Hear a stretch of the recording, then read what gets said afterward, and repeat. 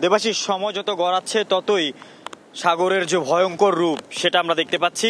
আমরা প্রথম দিকে যে জায়গাটিতে দাঁড়িয়ে আপনাদেরকে দেখানোর চেষ্টা করেছিলাম, সেখান থেকে অনেকটাই দূরে চলে এসেছি, কারণ কিছুক্ষণ পর পরই সাগরের যে বড় বড় ঢেউ, সেগুলো আশ্রে পড়ছে। একেবারে প্রথম যে স্তরটি রয়েছে বেরিবাদের পতেঙ্গ সমুদ্র সৈকত মূলত তিনটি বেরিবাদ রয়েছে, তিন স্তরের। সেই জায়গাটিতে একের পর এক ঢেউ আশ্রে পড়ছে প্রথম স্তরে যেটি আমরা আসলে সচরাচর দেখতে পাই না যে এই পর্যন্ত ঢেউ আসাটা।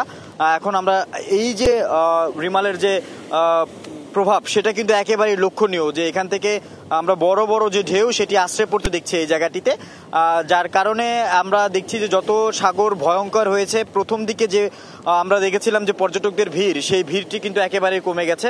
আর এখন কিন্তু শুধুমাত্র আমরা দেখছি যে সাগরের যে, বড় বড় ঢেউগুলো, সেগুলো আশ্রে পড়ার যে দৃশ্য, সেই আশ্রে পড়ার দৃশ্যগুলো এখন দেখা যাচ্ছে। একদম ঠিক বলতে গেলে সাগরের পানির যে উচ্চতা, সেটা অন্তত সাত থেকে আট ফিট বেড়েছে, সেটা বলা যায়। কারণ আমরা যে জায়গাটিতে রয়েছি সেই পর্যন্ত সাগর আর অন্যান্য স্বাভাবিক জোয়ারে যতটুকু পানি আসতো, সেটা থেকে এখন সাত থেকে আট ফুট অধিক জলোচ্ছ্বাস হয়েছে বলে বোঝা যাচ্ছে। তবে এখন পর্যন্ত এই যে পানির উচ্চতা বাড়া এবং রিম- রিমালের যে প্রভাব, সেই প্রভাবে কোনো ধরনের ক্ষয়ক্ষতির তথ্য আমরা পাইনি।